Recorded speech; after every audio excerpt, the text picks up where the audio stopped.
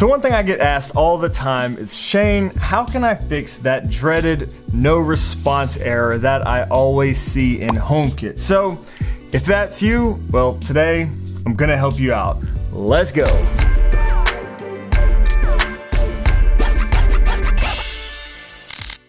Yo, what's up guys? If you're new here, welcome. My name is Shane and this channel is all about building an easy smart home using Apple's HomeKit with new videos published every Sunday. And I also do live streams every week where we talk about things like HomeKit and I answer questions. So be sure to turn on all notifications so you don't miss out the next time I go live. And it was actually on a recent live stream that sparked the idea for this video. Someone actually asked me how to fix their no response issues and I wish there was a super easy, straightforward answer every time, but it's actually a bit of a loaded question. It often may take a little bit of troubleshooting and things like that to find the actual root of the problem, which could be a number of things. But when I do see that dreaded no response error, I'm usually able to fix it and find the root of the issue pretty quickly. So in this video, I'm gonna take you through all of the steps that I would take when trying to, you know, diagnose and fix a no response issue in HomeKit. I've got chapters below in case you want to skip around, uh, you know, as maybe you're fixing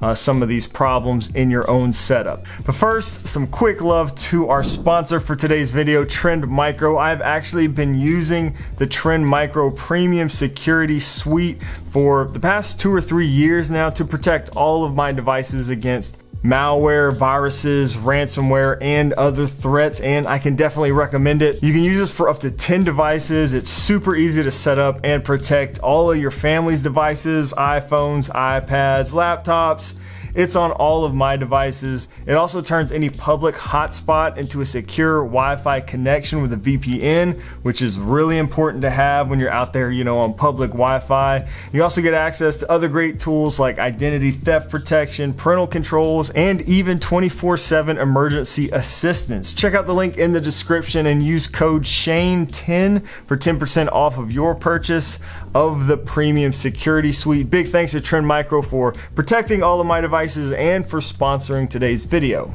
Okay, so let's start by getting some things out of the way. First, we're gonna go ahead and assume that you have a decent Wi-Fi network. That is essential in managing a smart home and why it's always the first thing that I always recommend to people to establish, you know, when you're setting up your smart home. If you have crappy, outdated routers or a, you know, spotty, weak Wi-Fi network throughout your home, you're most certainly to run into some issues at some point.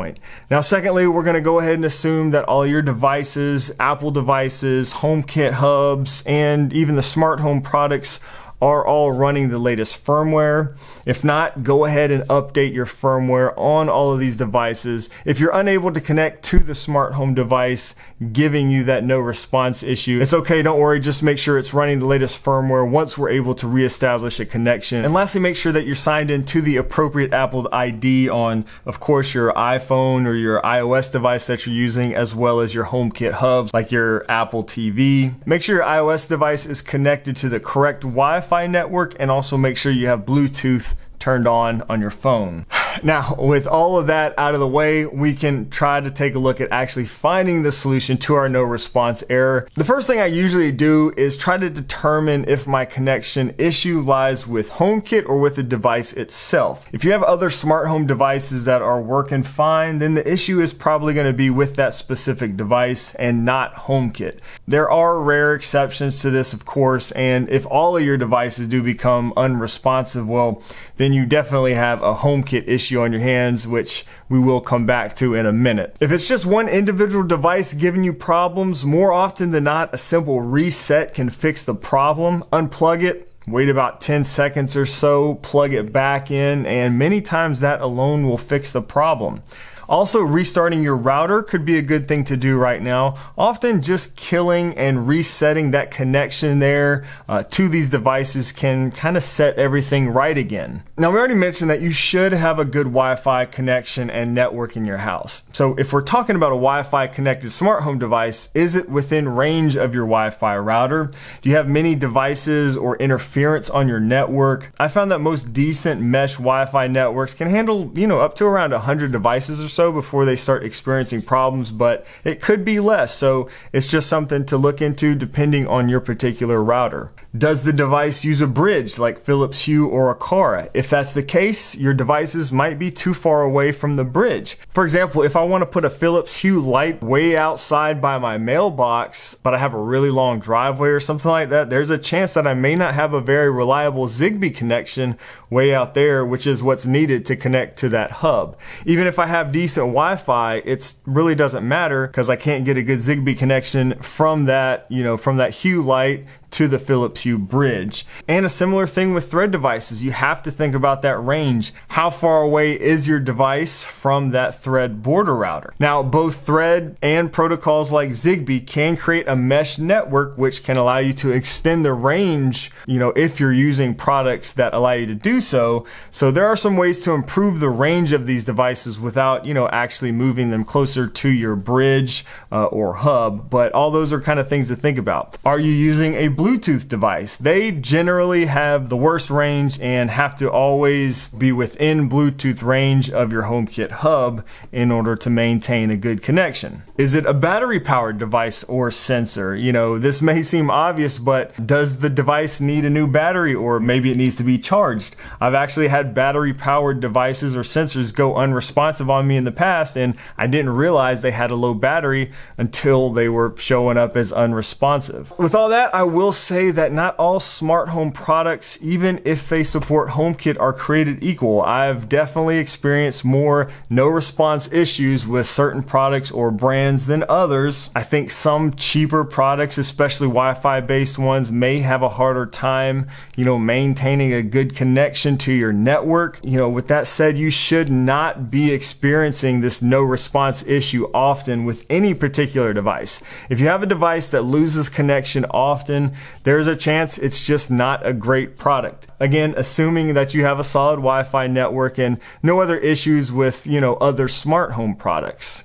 Another thing to look at when a device becomes unresponsive in HomeKit is to check to see if the device is accessible in its manufacturer's app. Now, most devices in HomeKit still have a manufacturer's app that you can use, like say the Philips Hue app or the Aqara app. And if you can control the device in the manufacturer's app, but not in HomeKit, well, then we know that it is a HomeKit issue indeed. And if that is the case, this would be a good time to make sure that the device in question has the latest firmware. And you know, you can usually check and update the firmware in the manufacturer's app. It is possible that a firmware update could fix the issue.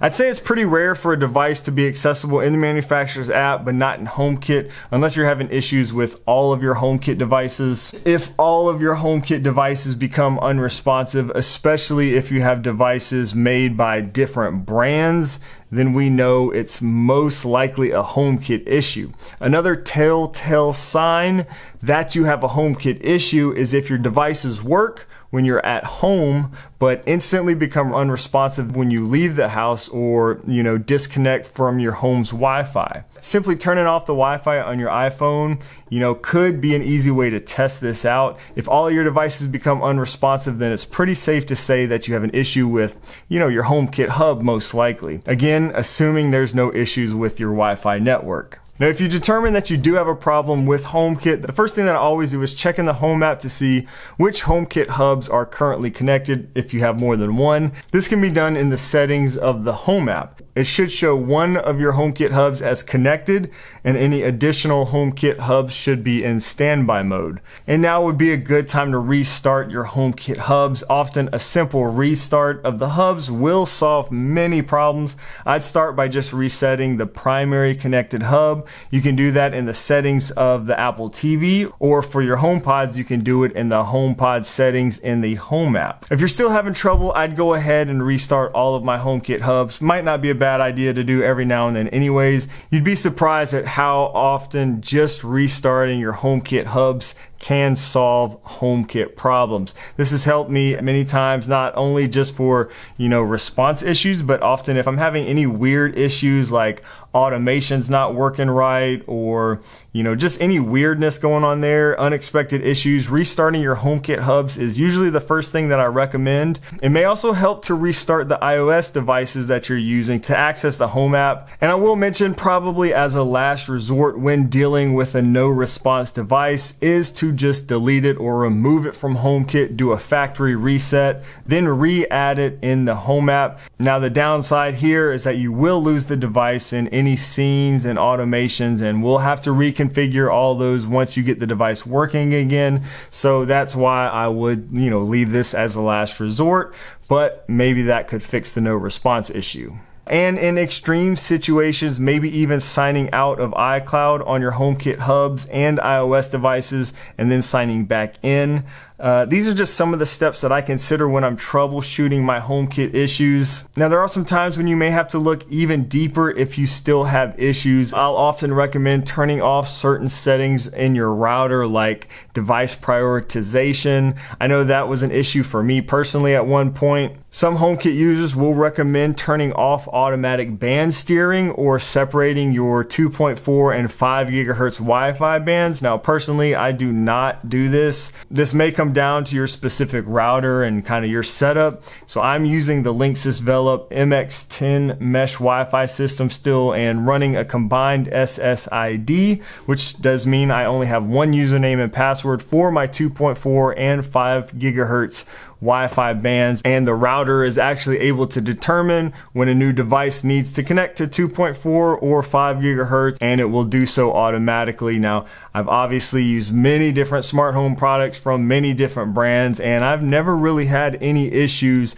running a combined SSID or dual band network like this here but it may be worth considering if that seems to be a problem for your network and I have mentioned your Wi-Fi network so often in this video video. Obviously, your network does play a huge role in your smart home, like I said in the beginning. Now, I've heard from many people that just replacing their old system with a more modern Wi-Fi mesh network has tremendously helped with, you know, many issues of HomeKit becoming unresponsive or running slow. I would say that in most cases by now you should have been able to resolve your no response error. Updating the firmware, restarting the device, and your HomeKit hubs often solves many of these issues. If you're still having issues, you can drop any questions down in the comments below and please let us know, let me know, let everyone else know if you have had issues with no response being a problem and what you did to resolve it. If it's something maybe I left out or something that you discovered that, uh, that I didn't mention today we can all learn from each other, so we would appreciate that. Again, drop those questions and comments down below. And if you want to see some really good tips for backing up your HomeKit setup and scenes and other more advanced ways of troubleshooting and finding issues, check out this video right here with some really good tips for that kind of stuff. Subscribe if you haven't already for new videos every Sunday and consider becoming a channel member to support the channel even further and get some cool member only perks. Thanks so much for watching today. I hope this video was helpful. Thanks again to our sponsor for today, Trend Micro. Again, check out the link in the description for that and I'll see you in the next video.